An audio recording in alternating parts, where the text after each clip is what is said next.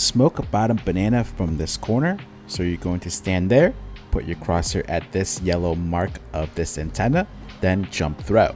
This smoke does take a bit to land here and you're watching in 2 times speed.